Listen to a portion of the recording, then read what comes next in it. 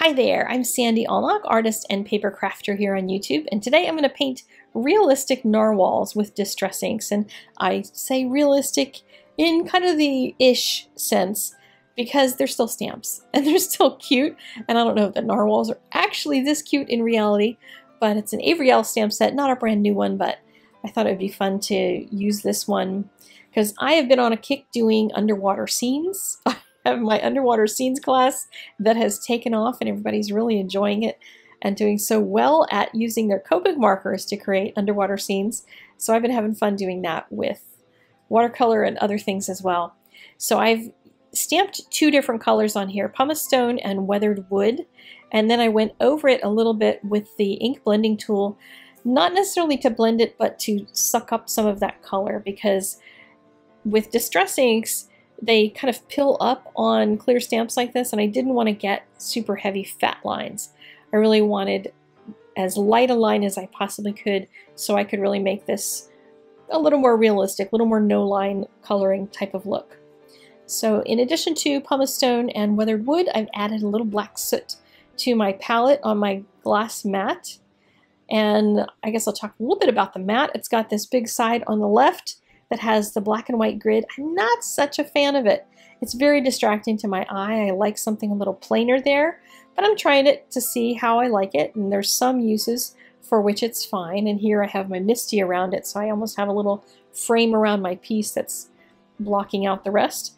But it also has this little area on the right-hand side that you can see that has the grid that you can drop a little distress ink into for painting.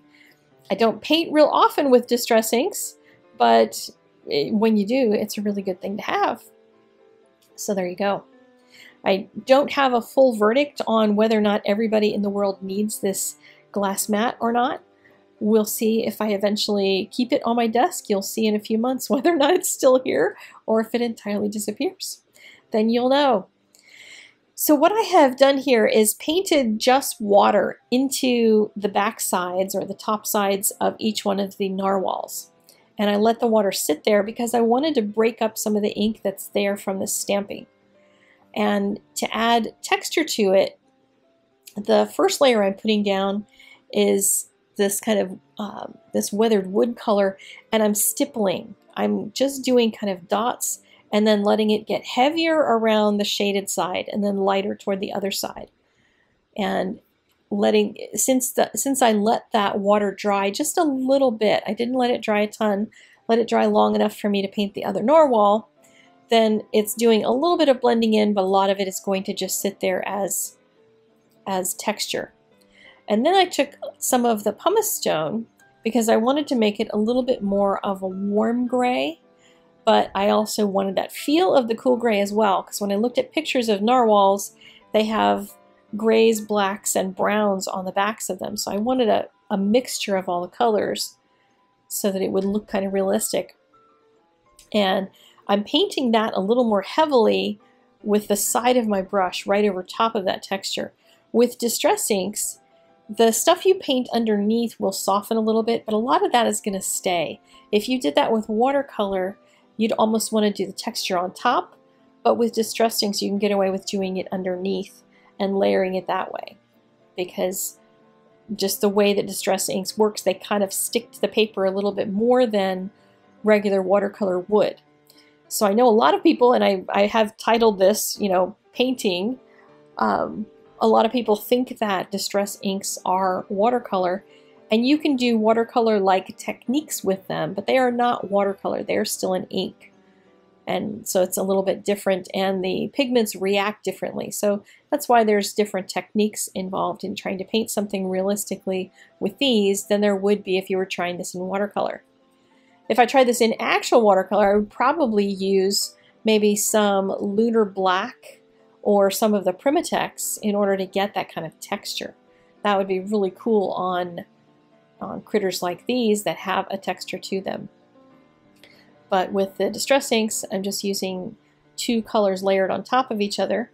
And then to add some contrast, because for me, contrast is what makes an image look dimensional, makes it look more realistic, is when you get that actual contrast. So black soot is a, a good color to pull in here for those absolute outside edges that are nice and dark.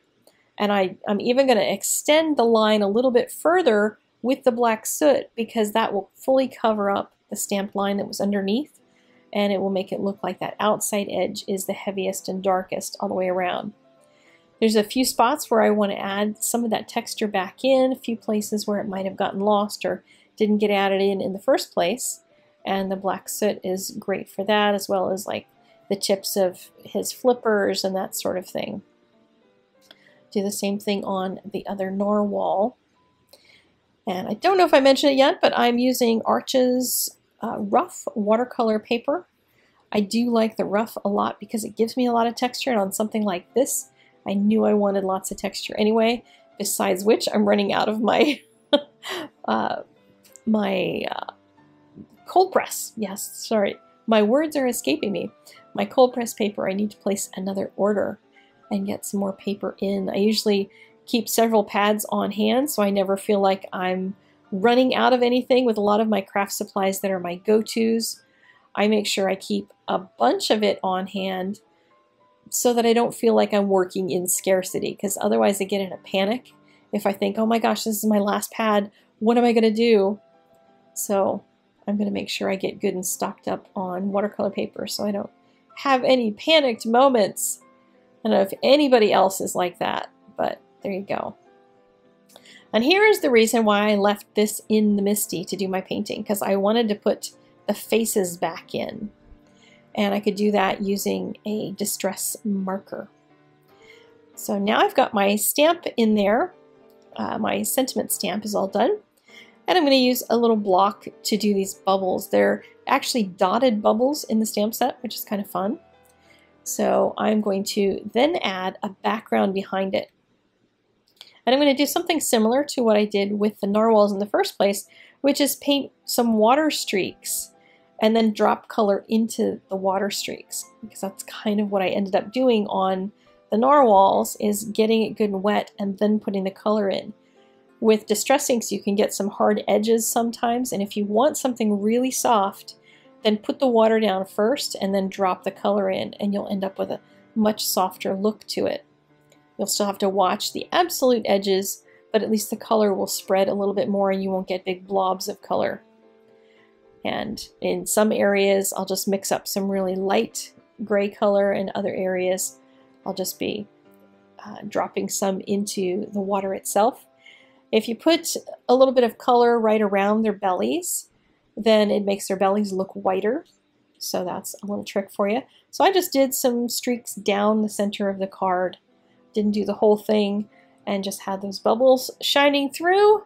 And I think it came out really fun. You're a rare friend, as rare as a narwhal. So I hope you enjoyed this video. If you did, click that like button. Make sure you share it if you know somebody who needs to know how to do this technique. And I will see you again next time. Make sure you are subscribed and click the little button right beside the subscribe button so you get this delivered to you by email so you're the first ones to see my videos. I'll see you guys next time. Bye-bye.